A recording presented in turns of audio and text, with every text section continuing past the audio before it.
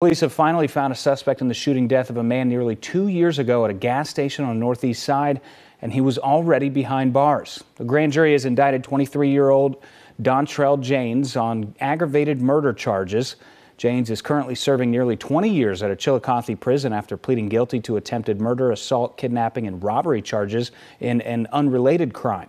62 year old David Gaines was the victim there, shot to death at a Sunoco gas station on January 6, 2021.